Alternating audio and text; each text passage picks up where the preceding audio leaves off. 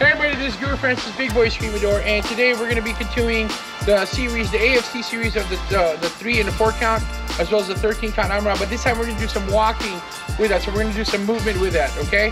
So remember, you uh, you know, when you're doing this, make sure that you're twisting at the right position, because now body positioning is more crucial than ever. Stay tuned.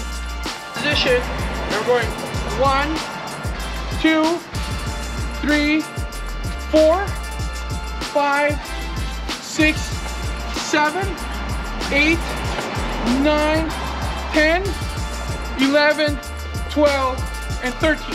Start from here, getting to fighting stance. And one, two, three, four, and then five, six, seven, eight, nine, 10, 11, 12, 13.